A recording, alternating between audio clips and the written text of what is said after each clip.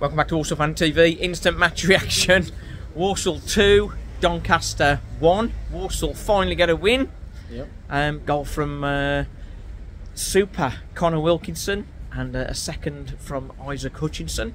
The Hutch um, sealed the victory. It was a they pulled the goal back. Doncaster came alive um, after we'd gone two up really, and Yeah. um, peppered our goal. But uh, Walsall sort of held firm. Um, some good performances, but overall the style of play. Walsall all season been playing hoofball, so frustrating. Um, we started passing the ball round. Uh, Richard O'Kelly and Mat Sadler effect, and um, they're passing the ball to each other, uh, passing the ball into and out of midfield, which is a nice change, isn't it? It is. Um, I'm happy with the way we're playing. It's definitely a big, big change from the way that Michael Flynn was playing, and it's definitely more exciting. The uh, football we're playing. That's it. The um, big performances today. Uh, Liam Gordon got the sponsors man of the match, but Can't for us, mine.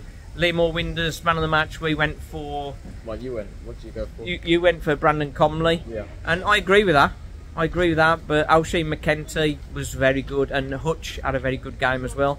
Knowles, his usual workmanlike performance, so that was good. Um, as far as performance rating, um, we were around about a seven or an eight for the uh, SNS Steel Stock performance rating.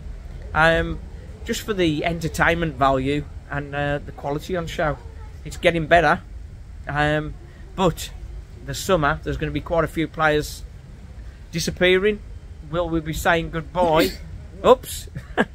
we'll be saying goodbye to Connor Wilkinson. Um, I think Andy Williams and uh, Joss Labadie and Peter Clarke are definitely going to be gone. Yeah. Hayden White might be gone as well.